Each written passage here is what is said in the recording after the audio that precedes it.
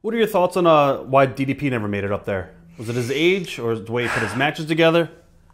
If I knew, I kind of wish I could give you a good answer on this, but I can't because if I knew why DDP didn't make it, I'd know why I didn't.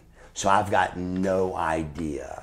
I think at that stage, my true honest opinion is at that stage, they just said, you know, let's just get rid of all WCW guys and, you know, and be done with it.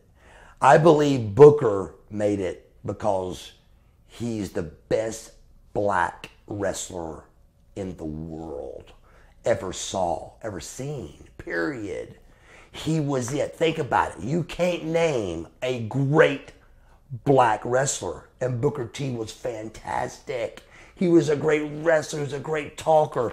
So I think he overrid the WCW thing because they needed a great black wrestler and he fit into it. He was perfect. He was the best.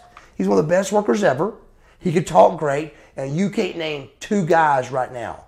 Junkyard Dog, are you kidding me? He had a great gimmick. He couldn't work. Booker T was perfect. He was a perfect candidate. So I think that's why when people go, well, he was WCW, I think that's why he made it was because they needed a guy like him.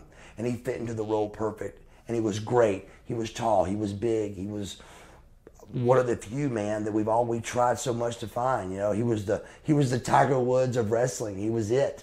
So I think he made it from that. But I think they really said, you know what? Fuck WCW. Let's show them that WWF at the time still is the powerhouse. And I think that's why we all went down.